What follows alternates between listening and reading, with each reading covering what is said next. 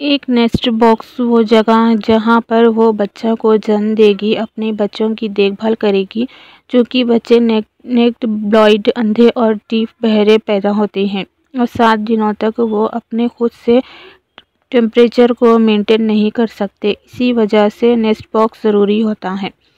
Nest box को किसी भी पैट स्टोर से ख़रीदा जा सकता है और इन्हें आपके खरगोश से करीब चार इंच दस सेंटीमीटर चौड़ा और लंबा होना चाहिए। आपके खरगोश को उसके छब्बीस दिनों के गर्भकाल में नेस्ट बॉक्स प्रोवाइड किया जाना चाहिए।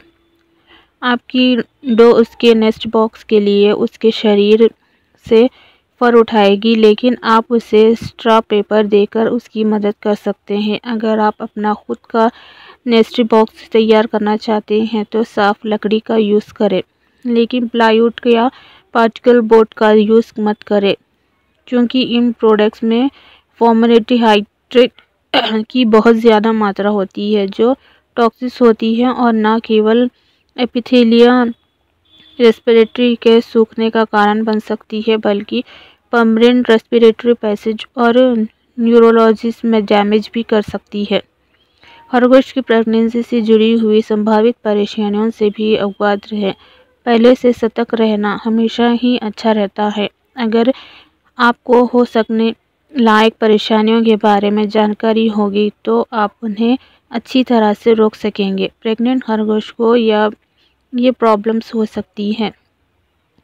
मैस्टिसिस ये खरगोश की बेली में पाई जाने वाली मेमरी ग्लैड्स की सूजन होती है। डिलीवरी करने के टाइम में से पहले आपकी खरगोश की मेमरी ग्लैड्स बच्चों को फ़ीड करने के लिए दूध से भर जाती हैं। अगर बैक्टीरिया डक में चला जाए और मेमरी ग्लैड्स तक पहुँच जाए तो मेस्टाइटिस हो सकता है। ये ख़राब ढंग से तैयार हुए ग्लैड्स डिलीवरी के पहले अपने खरगोश के वैट से खरगोश की ग्लैस चेक करने के बारे में बात करें या फिर उसके अनहाइजीनिक माहौल में होने, उसके ब्रीडिंग, उसके नेस्ट उसके घर वगैरह के एकदम क्लीन और खुरदुरा नहीं होने पुष्टि कर ले की वजह से हो सकता है। इसकी वजह से होने वाली असली मुसीबत ये है कि अगर समय रहते इन्फेक्ट हुई ग्लैड्स की पहचान ना की जाए तो ये इन्फेक्ट हुआ दूध बच्चों तक पहुँच जाएगा और इसकी वजह से वो मर जाएँगे।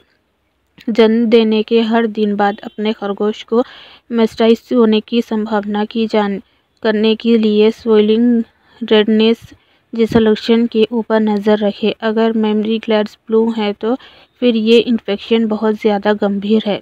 दूसरे लक्षणों में खाना और पीना बंद करना, बुखार आना और डिप्रेस नज़र आना शामिल हैं। अगर उसे फ़ौर ही एंटीबायोटिक केयर की ज़रूरत हो तो उसे सीधे वैट के पास ले जाएँ।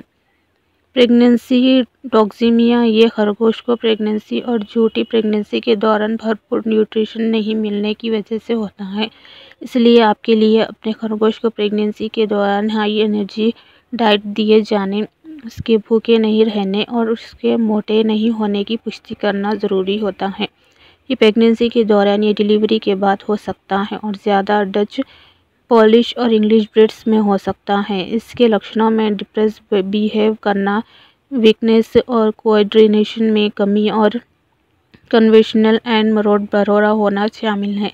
अगर इसे ट्रीट ना किया जाए तो वो कुछ ही घंटों में मर सकती है। इसीलिए उसे आईवी ड्रिप और डेक्स्ट्रोस के साथ ट्रीटमेंट के लिए तुरंत वैद्य के पास ले जाए। अपने बच्चों को मारना कुछ खरगोश अपने ही छोटे बच्चों को मार देती है और खा लेती है। इसके पीछे की वजह अलग भी हो सकती है और किसी भी संभावित वजह को दूर करने के लिए आपकी तरफ़ से मेहनत लगती है। उसके नेस्टिंग एरिया के हमेशा गर्म होने की पुष्टि कर ले, पल नहीं सकने वाले बच्चों को अलग कर दे। नेस्ट को साफ़ रखें और खरगोश की नर्व्स को कम करने के लिए खासकर कि डॉग्स को नेस्ट से दूर रखें। अगर कोई खरगोश एक साथ दो लिट्स लिटर्स को मार देती है तो फिर उसे ब्रीडिंग के लिए मत यूज़ करें।